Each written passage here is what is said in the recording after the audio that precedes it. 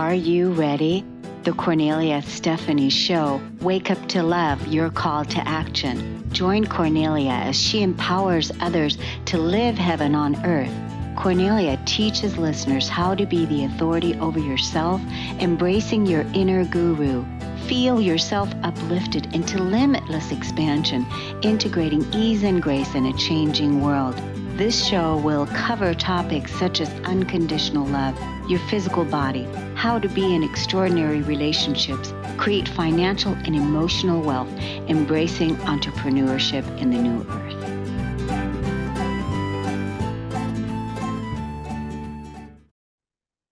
Hello, everyone. Thank you for tuning in to today's show, the Kornelia Stephanie Show. And it's Friday for our series, Stories of Hope. My first guest is Drocella Mogore. She has quite an interesting journey that she's lived. She fled Rwanda and she now lives in Tennessee. Uh, her background is the diversity trust builder. She's an experienced former Rwanda, Rwandan parliament, parliamentarian.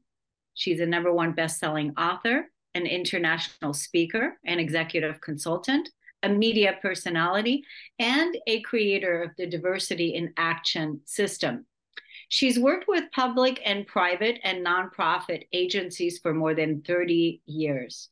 Drocella knows what it's like to feel vulnerable, oppressed, and unheard after and before being forced to flee her country and become a refugee. As a result, Drocella is building a global movement supporting CEOs and corporate decision makers to champion diversity in their industry so that they can build trust within their teams and increase productivity and revenues up to 50%. Welcome to the show today, today Drocella. Thank you for having me, Kornelia. Oh my goodness. Yes. Oh my goodness what an amazing journey you are on and what an amazing life.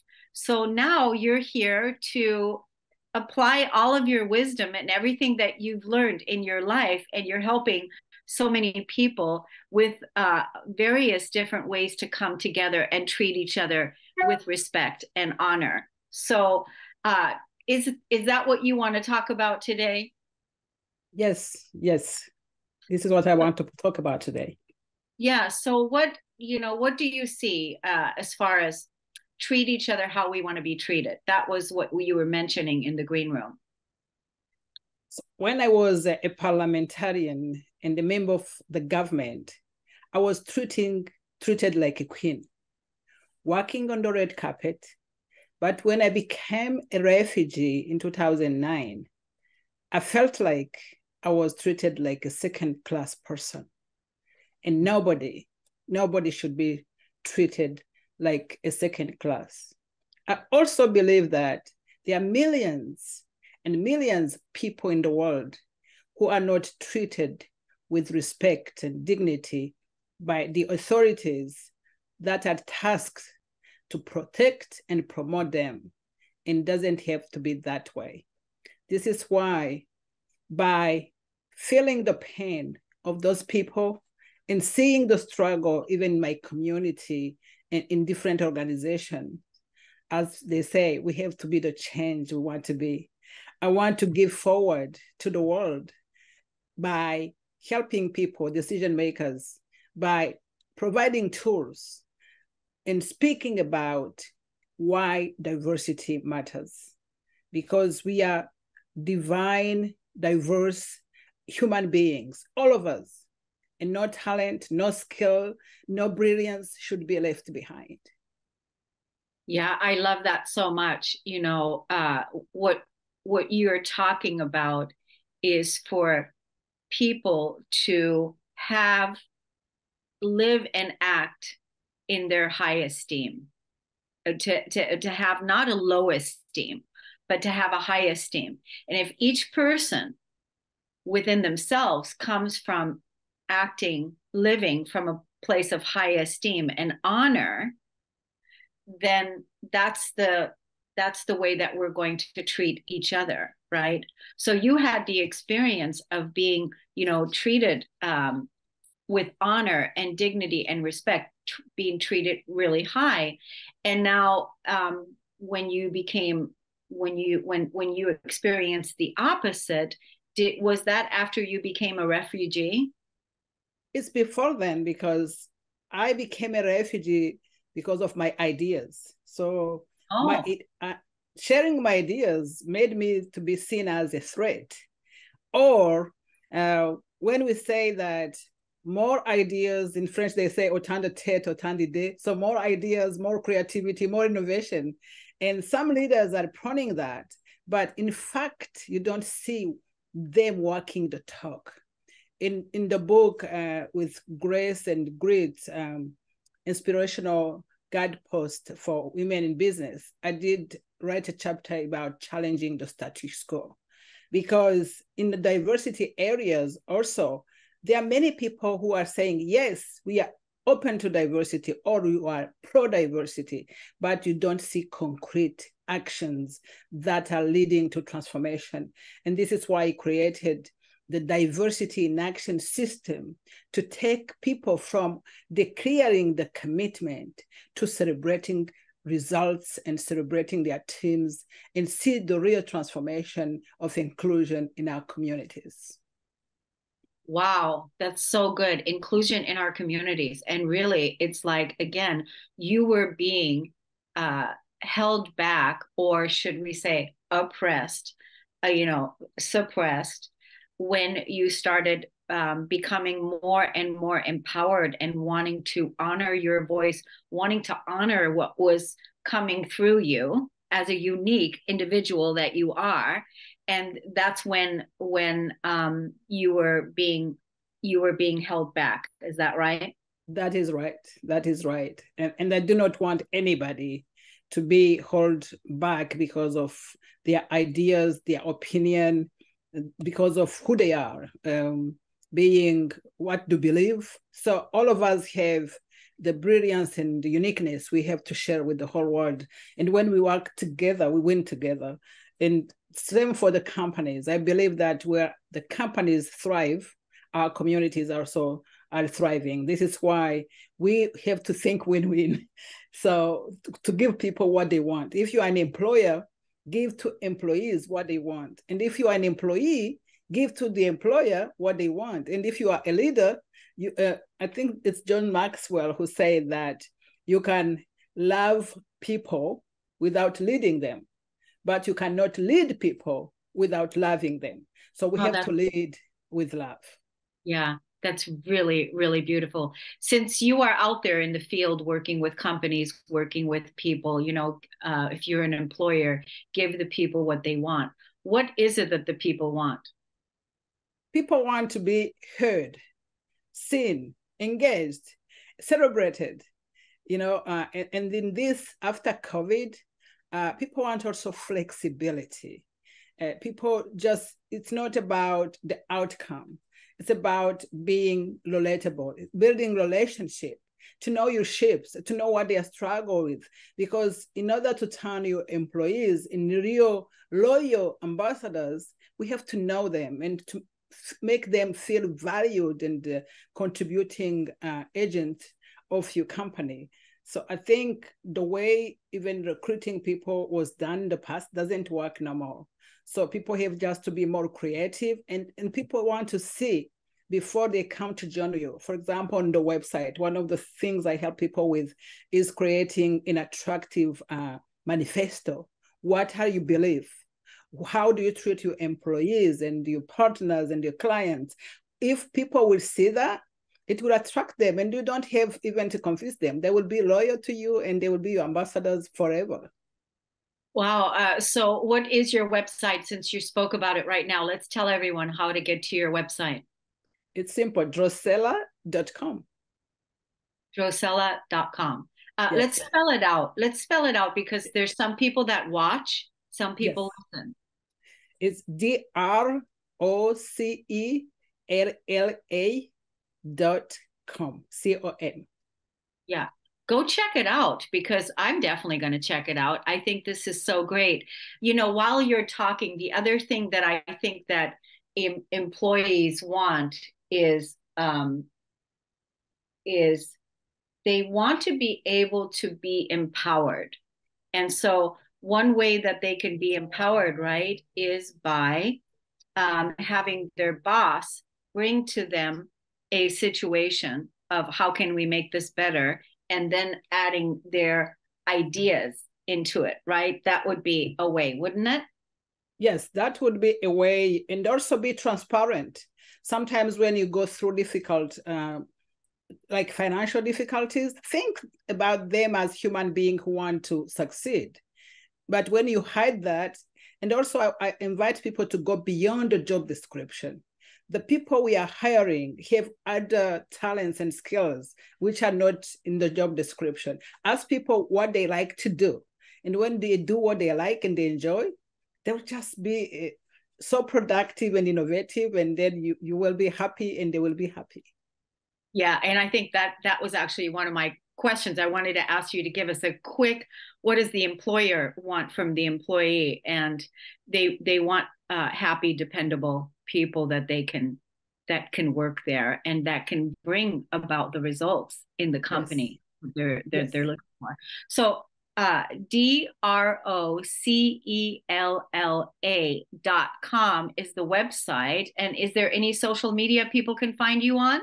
Yes, people can find me on the LinkedIn. And if they go to my website, because I'm very passionate also to teach people how to leverage language diversity because as our diverse community grow in many countries and worldwide and countrywide so we want to be able to communicate with everybody. So i did uh, have uh, on my website five ways to leverage language diversity for profit and success. And you can have that download, and I invite you to share with your friends and anybody who would need it. And if there are colleges and universities who want me to talk about the importance of language diversity, I'm happy. My grandson, who is four years old, is now learning six languages. So I'm happy oh. to teach other people to speak those languages and to use them. Oh, that's so good. I I love I love I love what you're doing. I love where you're coming from. I feel so blessed that you came on the show today to inspire us with what it is that you're you you're wanting to the movement that you're creating.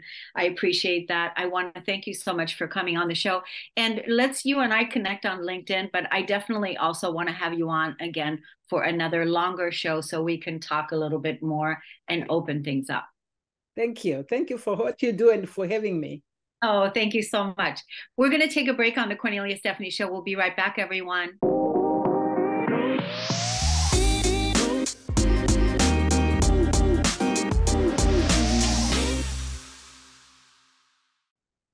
Welcome back, everyone. I am so excited to introduce our next guest, Stephany Ann. She's an attorney and recipient of the Governor's Award for Advocacy with Survivors of Domestic Violence Having triumphed over narcissistic abuse and relationship trauma, she offers profound insights into healing and growth. She is an emotional freedom technique practitioner and empowers individuals to release emotional blockages and embrace their truest self. Her legal background adds a unique perspective on dealing with narcissists in court, while her role as a dedicated mother enhances her ability to guide others. Welcome to the show today, Stephany Ann. Hi, thank you so much for having me today. Well, the first thing that pops into my head when I'm, you know, introducing you is a, a very interesting visual of you being in court with uh, the narcissist. that that not, probably wasn't easy. It is not easy. And especially if you are in a relationship with the person you are sitting across from you know you've been in that abusive relationship it's very hard to sit there and to be unemotional and to be completely detached from everything they're saying knowing that they are just spewing hate and lies and untruths about you. It's very um, challenging you, when, when yeah i can i can imagine. Uh when you is that is did you become an EFT practitioner before or after? I became one in the middle. Oh, in the middle. Uh, yeah, yeah. So it was in the middle of my second marriage. where we had separated and I was just desperately seeking something. And what's funny about it is I, I had a friend post it on Facebook that there was a, a class. And so I thought I was signing up to work with a practitioner, but I actually signed up to become a practitioner. And I had never done EFT before. But, you know, I feel like God, the universe source, you know, gives us exactly what we need when we need it.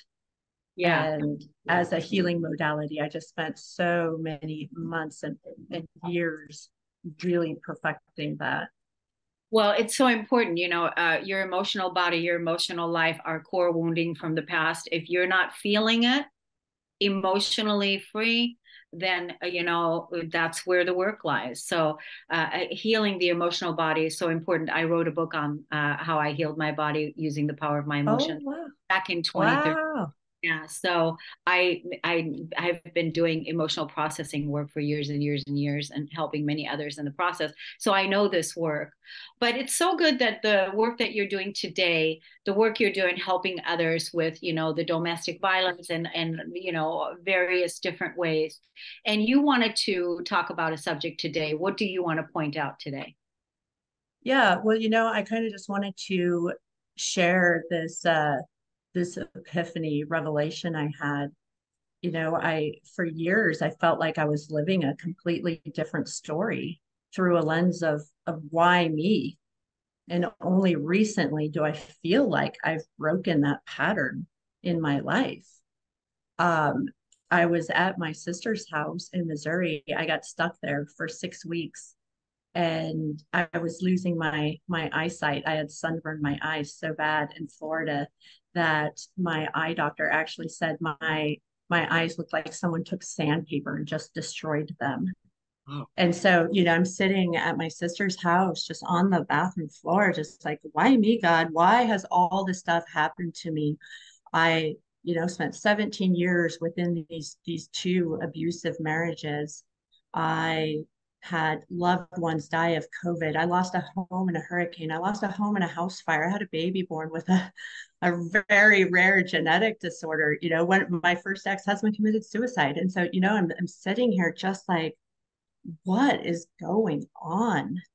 And I really felt it was at that moment that um, I wasn't seeing my story clearly. I wasn't seeing my story through the right lens. And it was in that moment that I needed to make the shift and really let go of the victim story that had kept me stuck and trapped for so long. And as I released that old story and put myself as the heroine of my story, I could finally see the lessons. I could finally see what needed to be healed, what needed to be released, what needed to be let go and ultimately i was able to to shift that pattern and break those patterns in my life. And so that's what i i use as inspiration for hope because so many of us especially after 2020 you know so many of us are just we're trapped in that victim story. And when we're stuck in that victim story we're stuck. You go nowhere well, I just want to say thank you so much for being so open and so vulnerable in your sharing because of the way that you articulated everything was really, really sacred and beautiful. So I want to acknowledge you for that. It's very empowering. And I'll put some spiritual woo woo in here uh, for the divine feminine to claim her power in the way that you did and the way that you're sharing it. So I appreciate that very much. And we're not victims of our circumstance, we're not victims of our life. And the way that you articulated your, uh, you know, your plea or your cry to God that, okay, it's interesting when you were talking about your eyes that you couldn't see, that you couldn't yeah. see. And then from not seeing to seeing so you're a wonderful speaker as well. And uh, do you work with people one on one now? Is that what you do, or how how do you work with people? So I I was working with people one on one, doing EFT Um, my, as I mentioned earlier, my the first ex-husband passed away just a month ago. And because of that, and because we have several small children together, I have just don't have the the space to hold for other people right now as I'm using that for my children. Um, but in in the near future, I will have I will go back to offering services and you know as a coach or a guide or something. But just right now, I'm just sharing my story, putting it out there. I am working on a couple books right now, and then just taking the time to be with my boys and heal. Yeah, I think that's so that's so beautiful. Is really grieving the losses, really making room for you know all the losses. You know, like looking back at all the things that that we've had to let go of. Um, so mm-hmm. I think it's an important piece, and I'm sorry for your loss as well. For, Thank you. Yeah, I mean that's really soon. We definitely want to have you come back on the show. You know, in the in the future when you're ready to, uh, you know, uh, maybe bring your books out or whatever, and have another. Conversation I would love to. Maybe a, a longer conversation that would be fine because sometimes we we have one hour shows that we do as well. So. Oh um, where where can people you know follow your journey i know that you're in in a um, in a, a deeper process right now but you know if they want to look you up how can people find you i am currently on linkedin right now and i'm on facebook and so if anyone wants to follow me on facebook i do post a lot on domestic violence and narcissistic abuse as well as you know sharing my life um, and yeah so you can find me on those two places right now yeah, great. We definitely should uh, also connect on LinkedIn as well. So, um, so how old are your children, Stephany? I have a an 11 year old boy, a nine year old boy, and a two year old boy. Wow. So they they keep me very, very, very busy right now. And you know, going back to what what we were saying about um, EFT and emotions, I've raised them to be aware of emotions. I've, you know, emotion coached them their whole life. And in fact, my kids do EFT as well. And and so there is such um, power there. And totally. it's so good to to teach our children this because the last thing I want is my children my age sitting in therapy having to rework and reprocess all the stuff in their life. And so, you know what? Let's teach them when they're little and normalize it in their life. You know, that's that's, that's, that's so good. It actually needs to be taught in in the school systems as well. It, you know, uh, yeah, totally, because that will definitely pr- will prevent you know everybody puts everything always on mental health it's mental health it's mental health and i do agree that we we have big huge mental health issues but nobody ever brings out the emotional health and well-being that people are feeling that is causing them to act on those feelings hence committing suicide uh, because people yeah. just have so much pain. They they don't see a way out. And i just want to say that um, you know what you're teaching your kids now eh, when you were asking god why me? Um, what you're doing teaching your kids now teaching them that you know we're human beings and we all have emotions and that it's not okay for the men to suck it up and get on with it and the boys exactly to, really exactly. actually feel all of your feelings it's such an important piece so you're doing you're doing really good work thank you Thank yeah. you. And I'm sorry if you hear screams in the background here. They were supposed to be at school today, according to my calendar. no problem. No problem. I, I think it's great what you're doing, you know, teaching um, the boys how to feel their feelings, how to process their emotions, and, you know, uh, so that they can uh, really fully embody that, uh, you know, those emotions. Because, like you said, yeah don't need to wait until years later uh, before we yes. teach them, you know these these life skills life survival exactly exactly and you know we we do the sitting with the emotions and releasing the emotions but i also tap into the person we are becoming And so, about a month or two ago, my nine year old, he told me he was tapping in school because he wants to be a professional soccer player. So, he was tapping into the positives. Like, I'm so good at soccer. I know I'm going to be a professional soccer player. I know how to play. I'm going to be the next Cristiano Ronaldo, you know, whatever you think, you know, that in the nine year old brain. But that's important too. Like, not well, just the, the mm-hmm. healing, it's tapping into who we want to become and believing it. Absolutely absolutely. So that's this is this is wonderful. You're raising you're raising some some beautiful young men who are going to be the leaders of our new earth because it is about the children. That's what we yes. know mistakes of the past it's behind and now here we go so stephany ann thanks so much for coming on you're amazing Thank you. Going. and um, we'll see you again in the future Thank you for sure. Have a good day. Thank you. You too. Uh, we're going to take a break on the Kornelia Stephanie show. We'll be right back.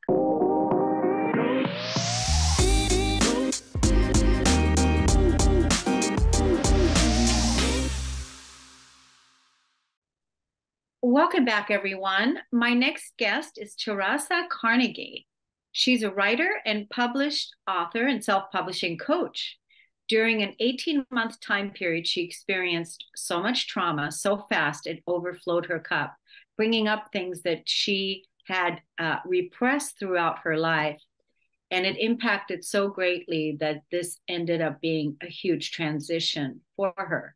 While healing mentally, emotionally, and physically, she began writing, which led her career in a completely different direction and one that she never would have previously imagined. After receiving se- several concussions, anxiety, and panic attacks, mental wellness became a passion for her. And this is the number one reason that she self published a mental wellness workbook with journal that takes a holistic approach to daily life. Sharing with others some of the different modalities and techniques that have helped her, but also giving away through it all one step at a time uh, the changes trauma brings into your life can be better than what you could have ever imagined. Uh, she should know. She should. She never expected to write or publish books, teach others how to publish their own books, and even help spark the creativity in people, because she had spent her entire life believing that she wasn't creative. Welcome to the show today, Teresa. Hi. Thank you so much. I appreciate it. Yes. So my goodness. So you have to, I have to ask, uh, you know, you experienced trauma for a short time. This is what stood out to me.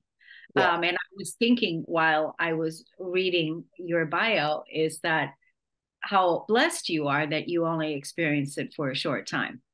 Uh, I wouldn't say only experienced it for a short time, but that short period had uh, it, had quite a wallop. And it um, there was a lot of grief there was a lot of death there was a lot of injuries there was a lot of um, more than one concussion and those are not fun to get from. And it just it was just so much so fast. Um, i mean life is full of trauma really isn't it and well you know I, i'm just i'm, I'm saying because i experienced so much childhood trauma uh, you know uh, and you know yeah. uh, lots of lots of other traumas that i had to uh, overcome. So that's why I'm saying not for a short time, but for a long time. It's like yes, you know. So that's what I meant by that. So I didn't I understand. Sorry. um. So now, do you are you are you open to talking about what trauma you experience, or is this not something yeah. that you want to? Yeah. No, I uh, I've been through a lot of therapy and worked with a lot of people, and I'm happy to share because we all think what we go through, we're alone. We think that everybody has the same thing. We think that you know nothing is special. We think that nobody understands us. And in actuality if we just all start talking about it we'd understand we had so much in common. We are all experiencing so much pain and so much suffering and having to get through so much. So i have no problem Good. So tell us about what was the sh- the trauma that you experienced during that time that was so much in a, in in that short amount of time. Well, it started actually, it was um, a week, yeah, it was uh, this week is an anniversary. Um, it started with the death of my father. And we knew it was coming. He had been struggling with cancer, but it's still, it's hard, right? And a week after that, I was sitting at a red light and a I'm I'm you know 90 year old person just drove right into me. And they didn't they don't have reflexes. And so they rebounded and hit me again. So um yeah that was like two concussions some great injuries um and it took me a long time to get back from that. Um, but I, you know you just keep pushing yourself. You know you got to get through. You got to get better. You got to get back to life. And so i did. I just kept pushing myself and things kept happening so i you know i went back to a job that um, previously it wasn't the greatest but i enjoyed it and then i realized i wasn't um, i was getting a lot of um, flack from people who thought I was getting special treatment or just get back to work or you should be able to do this or you're milking the system, you're faking it, you know, you hear it all. Um, so that was at the same time that was feeding into me. And then things happen like little things. Like you open up the fridge door and a bottle of water falls down and lands at just the right point on your foot to break your foot. and you know, just different things like that. So there were three car accidents within 14 months Oh lost my my father yeah and so lost my father uh, a friend a lifelong friend died of cancer also um, about two weeks after my friend passed away um, i got scabies from trying on clothes in a very reputable clothing place i would just Wow. like to point out turns out those are incredibly easy to get. And um, the things at work were becoming worse and worse for me to deal with. Um, and i had a pain specialist tell me that my push to just keep going was actually hurting me from getting better. And it really it's it just it was a whole lot all at once. And i went and boom. And i left my job um, a month after i left my job my naturopath passed away two months after that i went to phone i had went to make a doctor's appointment which it was only like two weeks after I had last seen her, and she closed her practice unexpectedly. They both, he passed from cancer, she got cancer. So there was just a lot of cancer around me. Um, and it just led it to I was I was struggling to get out of bed some days. And it was really hard to see where is this going to take me? How like where am I going to go from here? How am I going to get a job when I'm feeling so down? You know, it was just you lose your identity a little and you're still trying to get better and you can't figure out how that's all supposed to work together. Um, and I just started writing because it was something to do.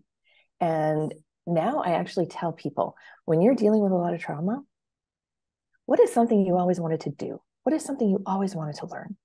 Because I mean, for concussions, there was memory issues.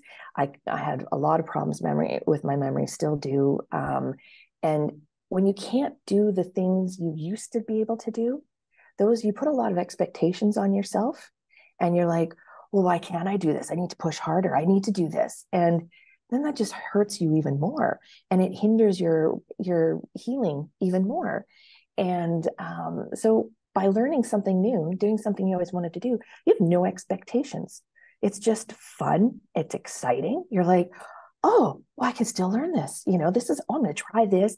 And if it takes you like twice as long to learn, you don't care because it's new and you have no expectations. That's and great. It, it just, yeah, I, I highly recommend that to everybody. Do That's a good new. tip. That's a really good tip because I really feel like, you know, most of us here at in this modern day time are suffering from trauma, whether Mhm. it's trauma that we're experiencing right now or it's trauma that we're releasing from the past or from another life or whatever. But you know, we're all experiencing so much change and so much loss Yes. um, that uh, that that that way of looking at something, uh, you know, learning something, uh, giving giving yourself uh, permission to you know learn something new is a really really great way to do it. You you you hit the nail on the head with that one. But is and that's the thing is because when you do have all this stuff coming at you, it triggers you for past trauma. And so all that stuff starts coming out. And so it hits almost double hard, right? You know, and yeah, you need an outlet. You need something to keep you going. You need something to just not distract you, but help you. So you became a writer. You started a writer. Yeah. Yeah. and now you're helping. You know, you you self published a book. Is the book on Amazon or where's the? You know, it's funny. Um, it's on. I have a on all major retailers. I have the very first book I published was a 17 page ebook on solo female travel. to encourage women that we are way more confident, uh, capable than society tells us we are, and you know stuff like that. And then I started doing um, learning fiction, and while I've been doing fiction, I that come up with some blocks, you know, putting yourself out there uh, with the fiction aspect. And so I started doing low content, they're called um, books which are journals, notebooks. I've got a planner for if you're a romance reader, movie watcher. It's a planner based on that. And I did the uh, mental wellness workbook uh, that includes a journal in it, and it's just little things, little little things to do that keep you going. And it takes such a holistic approach. It's what I did, so I know that these things help. Is it going to cure you? No, but it is going to help you. And it's so good. You went crazy with all this creativity which is fabulous. Um, My whole told I wasn't creative, so yeah, that's amazing. I love this story. Uh, where where can people find these books? Amazon is the good way to do it. Um, under my name is the uh, 17 page ebook, and it's mostly free. Sometimes Amazon decides to charge it, um, but you can find that one on Barnes and Noble and, and different websites like that. Um, I had another one. Us, you know, for the people that are listening, um, that are not watching, okay. get you know, give us the title like very clearly so that they can later on that they remember it and they can later on go to Amazon and type it in. So what is it? Solo Female Travel by Teresa Carnegie. Spell the last name. C A R N E G I E. And the mental wellness workbook is under my pen name that I do all the low content books of, and that's Imogen Enger, E N G E R. Yeah. So, um, wow, are you having like total fun with this new career? I am. I'm now, you know, now I I, I help uh, coaches and, and other entrepreneurs learn how to self publish for themselves, so they can help new clients and they can, you know, have another income stream and you know i have a membership where people can to help people spark their creativity it's fun i really enjoy it and never would have thought of it so what do you what's your plan now moving forward like what's what's next for you uh honestly i really want to work i really want to have retreats writing retreats that take like a self-care look at life and a new things that are new and exciting, like different. And I'm because you should always be bringing different things into your life. You know, once a month, once a week, whatever works for you, something new and exciting different. And it new and exciting might mean I I love hot chocolate. I like to go find new cafes, bakeries, and try different hot chocolates. And that's, that's my great. my new and exciting sometimes. yeah, I really like the idea of the writing retreat. I mean, that's a really like have you thought about that? Like how long the retreats would be? A week, three weeks? I haven't thought of that part yet. Um, I, I do know that um, at this point, I'm thinking of two a year. One would be um, very self care based, and the other one would be new experience based. So haven't really gone past that yet um, but i like the idea of both and i thought putting it into one but then i thought well that might be too much. So i thought you know separating them might yeah, have a, I like, yeah i like the idea of writing retreats. I think this is good. Um, obviously we, we, are staying on it a little bit longer um, so I, I I'm, I'm really enjoying the conversation as well um, let's let's uh tell the audience where they can find you on social media? I am one of those people that hides from being seen on social media, but I do have um, Facebook under my name, and I do have a group um, called, you know, it's one of those things where you're like, wait, what's it called? Um, Self publishing. it's, um, yeah, I can't think of it right now. Okay, no problem, no problem. Well, we we've got your information also uh, to find you on Amazon. And is there a website? Do you have a website? I do. Uh, it's going to. It's, it's interesting. It's called dapsile.com. D A P S I L E. Um, it's Latin for a little bit of everything. oh, okay, good. Well, I definitely um, want to hear more uh, about your membership and all of that. Like I told you, we have um, I, I, you know, I meet a lot of entrepreneurs. So what I'm going to do is I'm going to have uh, Ashley connect us via email, and uh, so that you and I can go a little bit deeper into that discussion about your membership and whatnot. That sounds uh, great. Thank you. I thank you so much for coming on the show today. Thank you and, for having me. Um, yes, thank you so much for coming on, and then we'll uh, be in touch. Okay. Okay, sounds great. Thanks so much. Have a great day. Yeah. Bye. Bye. We're not going to take a break on the Kornelia Stephanie show. We're just going to keep going right now because I have our next guest here. And uh, her name is Mariya Shiyko, PhD. I hope I'm saying this correctly. She can correct me later if this is not correct. Uh, she's an award winning educator, mentor, author, and entrepreneur. She uniquely combines sciences, metaphysics, and arts to inspire change aligned with higher purpose and joy in her clients. She's a former university professor turned entrepreneur. As an accomplished author, her work has been published in 50 plus journals, including Advances in Complementary and Alternative Medicine and Explore Holistic. She made appearances on Biz Talk Radio, Mind Body Radio, and Women Inspired TV. Uh, her she's also the author of two books that inspire joyful and creative living my brilliant money book and From Russia to Joy. She lives in Boston with her partner. Hello today, Mariya. Am I saying this correctly? Uh, hello, Kornelia. Yes, my name is Mariya. It's Mariya Shiyko. So you were very close. Oh, good. Maria Chico. So, wow. So, what a wonderful uh, journey you are on with uh, your books and your creativity and all the media uh, appearances that you've done. What would you like to highlight on today's show? Whatever would be helpful for your listeners. yeah. So, uh, well, what what do you like to talk about? So I I would actually love to talk about joy and creativity. This is these are my favorite topics: joy and creativity, because I feel that if we have more joy and creativity, we would be happier people and we would have a better society. So, how do people um, that feel overwhelmed in their life right now, and they feel overwhelmed by what's going on in the world, um, they feel disconnected from their creativity, um, they can't find their joy.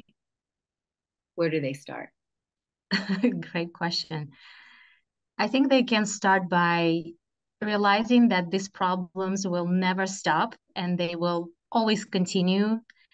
They today it's one problem then you turn tv it's going to be another problem and my recommendation would be to actually disconnect a little bit from not ignore the problems but to disconnect somewhat from a lot of stress that is coming from outside of us and that is kind of making us very very small i think the purpose or the energy of that external stress is to make us overwhelmed make us feel distracted, disconnected from ourselves and our purpose.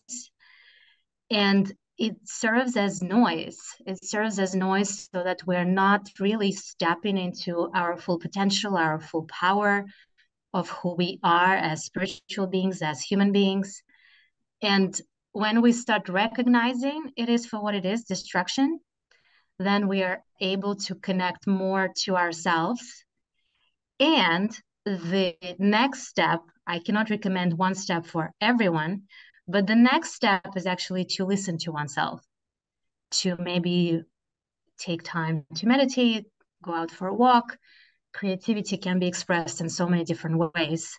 It can be painting, dancing, listening to music, singing in the shower, doodling, or just doing nothing, really just doing nothing. I think that is very needed to even access creativity is to actually do nothing because otherwise it's always a response, a reaction.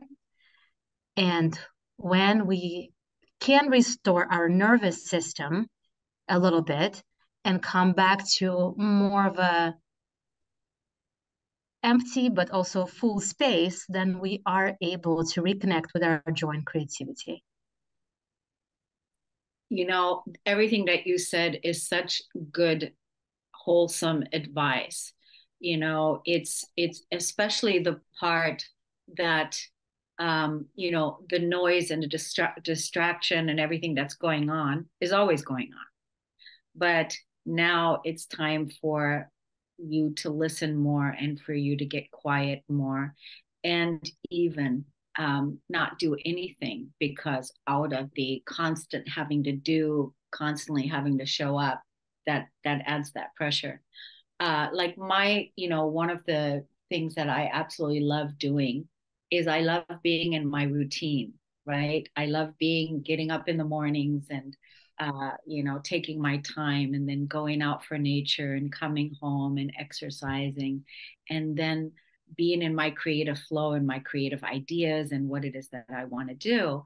And so uh, feeling free to be in my creative abilities, right? Feeling that freedom to be in those creative abilities. And even right now, as many of us more entrepreneurs that are out there that are wanting to uh, share our products and services with people, um, we need an outlet of creativity. We need that outlet because that that that has to we have to have a place to express our creativity. Even right now, you and I are expressing our creativity right now. It's happening. Absolutely. And Absolutely. there's so much joy in that. There's so much joy in that because we're talking about life force energy being expressed on this platform. And so, how great is that? Yes. Right? Yes. Yes so I, I, I think this is an important piece and I, I i love that you brought that up that you want to speak about joy and creativity because even the other day i was speaking to my niece and she was having a hard time and she said i just can't seem to find my joy mm-hmm. so and that's that's why uh when i was helping her go through that process but feeling how many people feel overwhelmed by life right now. And sometimes it's not just even the news, it's just the change. You know, you're moving households, you're quitting a job, you're starting a new job, you had a new baby, there's more baby, there's, and you already have a, a family. So there's a lot that people are experiencing and going through. And to really make time and make room for the desire, I want my joy back. I want my. I think as long as we only identify as human beings, I think it's quite it's quite challenging. You know, it's quite challenging to really fully experience full joy and prioritize it because you know even in the entrepreneurial world and i have been an entrepreneur an entrepreneur for now like four or five years mm, after having transition i feel that nothing changes. Like whether you work for a corporate or you work for yourself unless you make internal changes about who you are and how you wish to approach life and approach your work and approach your timetable and schedule and routine and change nothing changes because you will just take old habits with you into a new environment. It's like changing partners. Just changing and getting a new, a new person does not change anything. So i feel it's very much inner work inner awakening to it to a degree and having this idea that your purpose is not only care chop wood and carry water but your purpose is actually to have a cup of tea and take 15 minutes for that. And have a cup of cake and taste the sweetness or look at the birds and go outside and notice be now be present be alive. And so i feel that we are always running somewhere and it's this is the modern society the change is quite rapid. I mean I, right now i'm in a very fast expansion phase of my life and I have to continuously remind myself to chill. to just it's not so true. yes. It's so true what you're saying. It's so true. It's, you know, that the purpose is for the cup of tea. The purpose is for that long walk. That is the purpose, you know, and and to really slow down, uh, to really slow down and be in our in our in our humanity while rising into our authentic expression and truth. So Mariya, I, I want to thank you so much for coming on. Let's tell the audience where they where they can check out your book and also your social media. Uh, the way I spell my name is M A R I Y A S A H I Y K O dot love. That's my website, or just my first and last name on social media, Facebook or Instagram, Mariya Shiyko. So yeah. yes, I post regularly. I I have my own journey with social media. yes, yes. Well, thank you so much for coming on the show and uh, inspiring us with joy and creativity and, and really bringing it back to the truth. Let's slow down, let's step back, let's connect with our creativity and with our joy and with our purpose. And that just may be having a cup of tea. Sounds so good. Yes. Yeah. My pleasure. Yes, thank you so much. Wishing everyone a good weekend, everyone. Thanks so much for listening. We'll see you again next week. Take care. Bye bye. You've been listening to the Kornelia Stephanie Show, Wake Up to Love, your call to action. Tune in each week on Transformation Talk Radio. Kornelia's joy is to engage others in practical ways, showing us how to live in the new earth in harmony with our true nature. For more information on Kornelia and her extraordinary work, or to listen to past shows, go to her website at korneliastephanie.com.